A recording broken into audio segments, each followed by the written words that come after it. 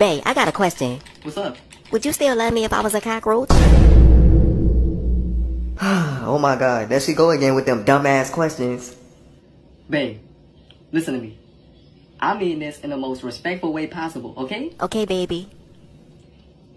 Why would I want to love a cockroach? So you wouldn't love me no more? Okay, okay, okay, okay, yes, yes, I would love you. Oh, okay, baby. I knew you would still love me.